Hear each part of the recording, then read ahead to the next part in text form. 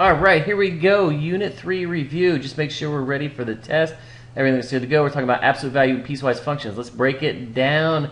We start with these compound inequality. All that means is you have two inequalities here. So inequalities is greater than or less than is what inequality means.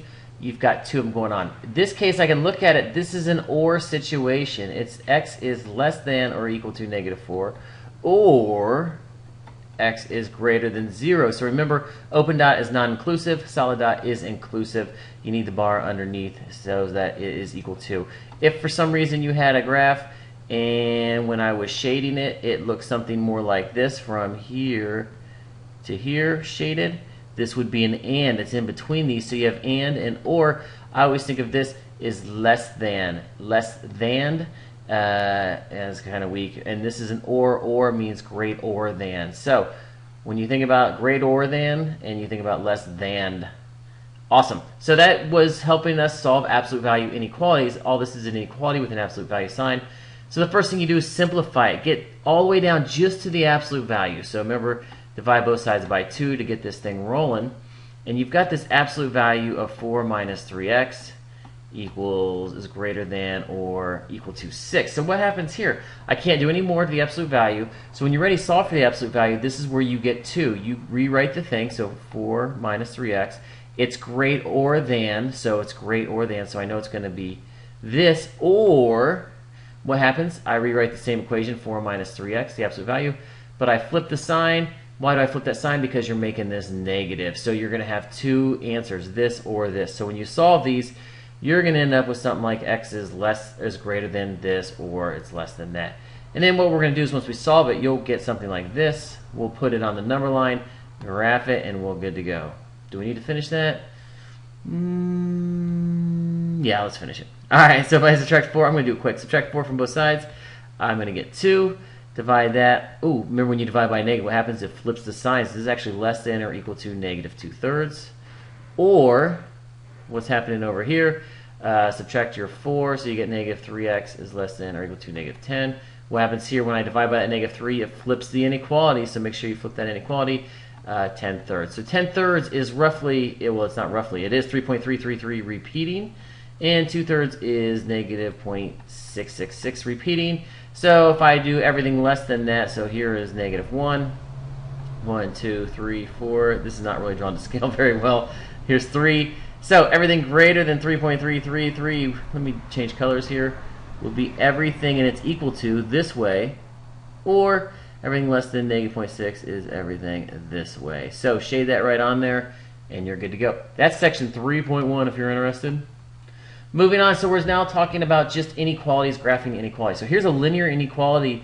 Why is linear? Well, it starts at 1, 2, 3, 4, 5 and it's a slope of negative 1 down you know it's down 1 over 1 down 1 over 1 down 1 over 1 and then you got to think about is this a solid or dotted line? Well this one's got to be what? It's got to be a uh, dotted line because it's not equal to. So it's a dotted line so if I do a dotted line through there and then I'm gonna shade which way? Less than means shade below. So everything below here is that. So that's just a linear inequality can I do absolute values? Well, yeah, this is the absolute value part of it. This is not an inequality. This is an equal sign, so it's just an absolute value function.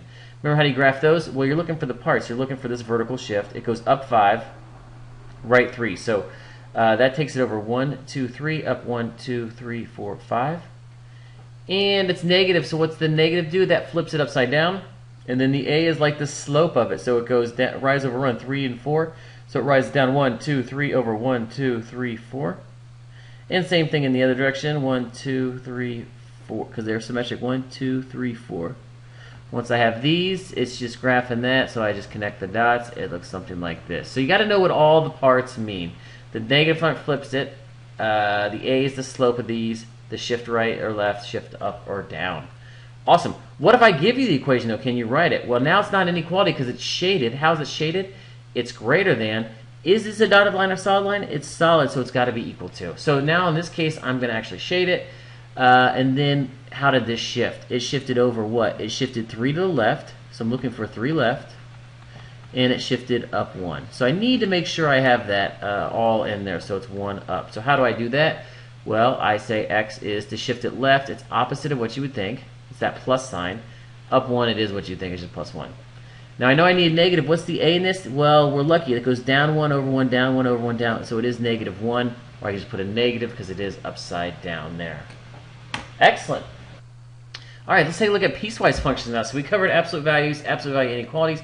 Piecewise function, remember, is just a function made up of different pieces. So this is one graph, one picture, but it has three parts. It has this top function, this middle function, and this bottom function. So it happens over different domains or when x is different values. So it's an absolute value function every time x is less than negative 2. But if x is between negative 2 and 0, it's a quadratic. You know, it's got that x squared in there. And if it's above 0, it's this function over here, which we'll talk about later. We've got this rational function going on. So it's pretty cool uh, things. Algebraically, I don't think it's too bad. It just says this means when x is 4. If x is 4, plug it in. Where are you going to plug in 4? Well, is it less than negative 2? Nope. Is it between here? Nope. It's the bottom one. So you just pick the function. Once you have the function, it's a matter of plug and chug. Put 4 in there, and then all you got to do is reduce. You get 2, 4 minus 1 is 3, 2 thirds. There's your answer. Awesome. Where does negative 6 go? Negative 6 is what? Less than negative 2. So if x is that, you plug it in the top one. So you just plug and chug. Replace x with negative 6. And then that's minus 8 plus 2. And then it's a matter of simplifying. You get negative 12. You get the absolute value of negative 20, which the absolute value is positive. So it's 22. Excellent. Where does negative 1 go? Negative 1 actually is going to fall into the middle one. So plug it in there. And then negative 2, which one? It's less than, uh, or I'm sorry, greater than this. It's less than or equal to. So this actually goes on top. Make sure it goes in the one that has the bar on it. So that negative 2 would actually go into the top one like this. The absolute value function there on top. So plug and chug. If you want to practice out, uh, you're good to go.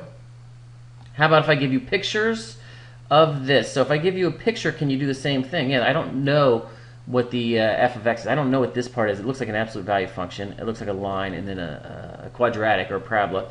But I don't care. This is saying when x is 2, what's y? What is the f of 2?